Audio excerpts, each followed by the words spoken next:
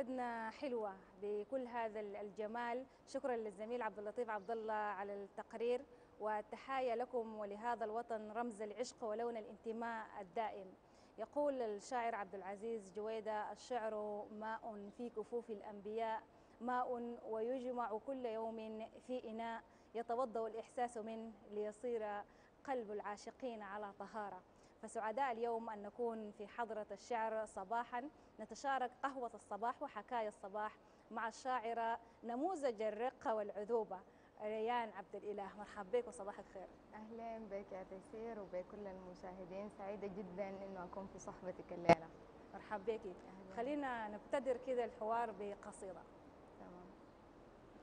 آه طيب نبدأ بإليهم جميعا. لأمي يا سليلة نور الحياة ويا قبلة الحب يا فوح آمالي المطمئنة يا رؤية القلب صافية تدرك الخير في كل حين يا طريقا غدا ابديا من التضحيات لأضحى أنا يا رحيقا أتى ليزيل غبار الحياة بوجه الحياة. ويا كتلة من حنين. يا رفيقة قلبي وخاطره لا يغيب ويا زهرة تتربع في وسط القلب. يا راحتي يا أمان السنين. لصديقة تضحكين مثلما يتناثر نجم من الفضة المستحيلة في يد شيخ فقير. تبعدين الأسى دون ما رهق تزرعين البساتين في دربي الضاج بالحر. يا سر إيقاع نبض الخرير تضحكين فتصاب المشاوير بالحب ذاهلة في مداك اللجيني يا روعة تتراقص في بؤبؤ القلب رامحة حرة نبضها من بياض محيا فؤادك ديدنها عطفك المشتهى في الصديق. أنت أنشودة للجراح أنت أنشودة لكبار الجراح ونوم قرير لك يا مذاق القمردين في شفة الحلم. يا يا مزاج الرياحين بالعطر يا قلقا لا يبارحني في التلافيف. لا لست لي لست لك. ليت أن وجدنا كلينا بوقت أقل غرابة بذاكرة غير مجنونة بحنين أقل بقلب صلابته لا تضر بوجه حريص أبى أن تزل ابتسامته وتسيل ويفقدها في الحريق. يا سلاما وبردا على القلب في فورة من حمم. يا بديع التفاصيل في أوج سعدي وفي وفرة من ألم يا أنيس الصباح وعند الليالي ويا ماسحا كل هم. لي أنا كنت ضيعتني كنت توهتني في حرابي وفي وجلي واتفاقية هشة من سلام.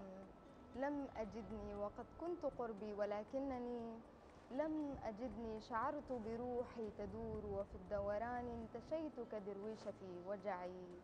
لم أجدني ولكنني فزت بي يا سلام. يا سلام يا ريان. ويا شفة القمردين في شفة الصباح اليوم يعني. سعيد سعداء بحضورك صراحة. أنا عندما نتحدث. عن ريان بالتأكيد كل من يعرف ريان يعرف هذه الرقة ويعرف الكلمة الرقيقة والمفردة والخيال المتفرد وغيرها. فكل هذا التكوين لحرف ريان بالتأكيد له مغذيات. خلينا نتحدث عن المغذيات المختلفة من المشاهدات المكانية القراءات وغيرها لحرف ريان آه بالنسبة لي يعني وعموما كده كل حاجة بتغذي روح الإنسان هي تجاربه الخاصة. يعني أحاسيسه الخاصة الأغاني الأغاني عندها أثر كبير يعني. أما أنا بالنسبة لي المديح يعني من الحاجات اللي شوفي يعني أي حاجة بتأثر على الروح هي بتخليكي تكتبي. واضحة روح المتصوفة طبعا في شعر ريان كلمات كثير. فبس يعني حاجات كثيرة زي ده التجارب الشخصية زي ده العلاقات الإنسانية يعني حاجات كثيرة شديد هي اللي بتأثر وبتطلع شكل الزول وشكل شكل التجربة الشعرية ذاتها. في جانب المشاهدات المكانية يعني يمكن يكون المكان اللي عاشت فيه ريان أو حديثنا أيضا عن الآداب. ولو أنه ريان بكل هذه العربية الفصيحة والعالية آه، درست الإنجليزية. فخلينا برضو نتحدث عن الزوايا المشاهدات المكانية والدراسة والقراءات. أيوه.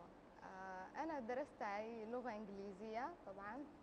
يعني زول بيعاين إنه مستقبله حيكون عامل كيف وكده. لكن بالنسبة لي العربية شغف طبعا. وبالنسبة لإنه أنا بحبها لازم أذكر إنه أمي هي اللي حببتني فيها. حقيقة صباحا. حقيقة جدا جدا.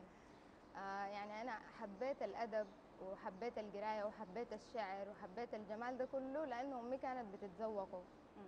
يعني بتذكر إنه أمي مثلا كانت بتعجبها حاجة بتقوم تقراها لي يعني قبل ما أنا سلام. أتعرف أصلا على سلام. دي وبعد ذاك بقينا بنتذوق الحاجات مع بعض. لحد كده طيب خلينا نسمع نص ثاني ليه حريصين نسمع منك أكثر تمام. مدرجة بالحنين إليك أفتش عنك بقلب انطفاء المساءات حين أعود لروحي وفي لون كل المسافات حين تجيش وتصحو جروحي ولي في هواك فؤاد لقد شيأته المقادير كي يصطفيك مرارا. وكي يرتضيك التياعا وكيما يذوب اشتياقا لعينيك كيما يموت اشتهاء ليسري ترياق صوتك في جوف هذه العروق شفاء شفاء يا لهاث الصباحات صوب غناء العصافير يا روح كل الأهازيج يا منتهى الحب. روحي بروحك سكرى وقلبي بغير هواك. سريعا سريعا سيذوي يا سلام. شكرا لهذا التحليق. ونحن نتحدث عن ريان وتكوين الحرف عن ريان. تحدثنا أيضا عن القراءات. يمكن كل اللي بيسمع لريان فيجيه السؤال لمن تقرأ ريان عبد الإله؟ طبعا يا تيسير يعني أنا حفاجئ سؤال واسع طبعا. آه، أصلا الشاعر يعني الزول بيفتكر إنه هو مفروض يكون بيقرأ شعر بس. يعني أنا لحد الآن كل شعري اللي بكتبه آه، أغلبه لأنه أنا قريت الرواية أكثر أها. وقريت حاجات عامة. آه، حاليا يا دوب داخلة في عالم الشعر الكبير الواسع يعني. لكن الشاعر يعني بي بي بتركب موهبته أو بتنميها أو بتخلقها تخلق ال- ال- التجربة حقته. كل القراءات وكل المعارف أيوه. انواع المعرفة صح. كلها أيوه أيوة، صح. بشكلها الواسع يعني. وجوانب لخروج الحرف ده يمكن أصبحنا بنشاهد مجموعة من ال- المنتديات ولو أنه حاليا من الحركة الثقافية عموما آه، ضعيفة قليلا فخلينا برضو في الجانب ده نتحدث إلى أي مدى المنتديات ممكن تكون هي طريق لخروج الحرف وصقل للتجارب والمواهب الشعرية أيوه طبعا يعني زي ما انت قلتي هي الحركة الثقافية مثلا ممكن تكون ضعيفة وهنا خلينا نشكر بيت الشعر اللي هو منصة ومنبر واسع شديد وبجد ما عارفة لولاه إحنا كان حنكون وين يعني مستقبل أكيد. الشعر كان حيكون وين فهو حاضنة جميلة وحاضنة مهتمة ومكترثة تماما بالشعر والأدب يعني فهو كل الأبواب غالبا بتكون منه يعني كل المنتديات هو التجربة فاتحة. الخاصة. أيوة أيوة. هو كان باب لصقل أيوة. التجربة ل- لريان. تماما الخاصة أيوة أيوة. نحييهم بالتأكيد كل الأصدقاء وكل الزملاء في بيت الشعر الخرطوم. وعندما نتحدث عن المنتديات يعني هو طرح ممكن يعني دائما زي ما ذكرنا يصقل التجارب باعتبار وجود تجارب شعرية مختلفة. الآن أصبحت المساحات للنشر مفتوحة. وبالتأكيد بتشاهدي في الفضاءات المفتوحة السوشيال ميديا وغيرها. أيوة. جوانب مختلفة للشعر. فخلينا برضو نعرف رأيك في وجود الحرف في السوشيال ميديا بشكل خاص. والله زي ما قلت يعني بقى نشر الحاجات سهل شديد وبقى يعني تشارك الثقافة وتشارك الأدب وتشارك ال- الثقافات ذاته وال- والحاجات كلها بأبوابها الواسعة بقى سهل شديد. فسهل المنصات الشعرية والمنصات الثقافية بتقدم ناسها وكده. فالشعر الفصيح عنده نصيب كبير يعني. طيب هو خلينا قبل ما نواصل قصيدة أخيرة. تمام. آه، في الطريق إليك. في الطريق إليك صداع حروبك. جوقتك ليعزفون الجنون لموت يهدد دوما ولكنه لا يجيء. في الطريق إليك ستكره أنك أنك ثم ستهواك بشرا تصالح مع الأمر. فالأرض مملوءة بالعجائب منها بقاؤك للآن. تركب خيل المجاز ووجهتك المستحيل. في الطريق إليك يصادفك الآخرون بلا عجب نادهم. وادعهم طيبا للبقاء طويلا وإلا فدعهم ليسرقهم كوكب آخر بصباح سعيد. في الطريق إلى الآخرين محبتهم وصلهم كرههم عندما يشبهونك في في الطريق إلى الآخرين التريث ثم التحمل. بعث الوداد مرارا ولا ضير من عتب لو رقيق. في الطريق إلى الآخرين ستلقاك أنت. فسلم عليك وصالحك فيهم وفيك. وودعك بالصفو ما دمت تملك سر الولوج لوجدانهم والوريد.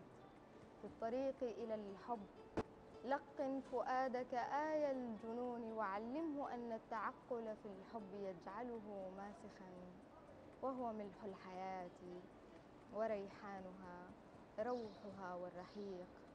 في الطريق إلى الحب كن ظمأ دائما وتطلع إلى الفيض. في كأس روحك متسع الكون ما الحب غير جمال ولكنه لا يبيد. في الطريق إلى الله كن مسرعا بالرضا والتزم بالبياض مع الخير والشر والحادثات وكن صادقا وتمتع بقلب كجلمود صبر ولكنه تتفجر أنهاره يتشقق يخرج ماء المحبة منه ويهبط من خشية حاملا منهج الطين فيه ومستذكرا دوره بالوجود. يا سلام. يا سلام. شكرا لك ريان. أنا كنت سعيدة بحضورك ولو أنه هو مساحات الصباح تقصر أمام قامة شعرك وإبداعك نتمنى أنه نلتقي في مساحات قادمة. بالتأكيد شكرا لحضورك الصباحي اليوم. شكرا جزيلا. تسلم يا تيسير. أنا كمان كنت سعيدة شديد بك شكرا